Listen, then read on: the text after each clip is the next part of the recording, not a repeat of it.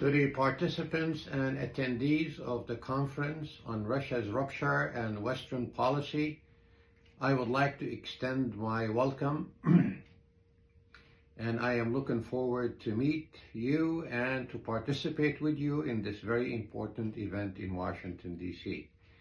With my thanks and gratitude to the organizers. See you on April 16. Thank you.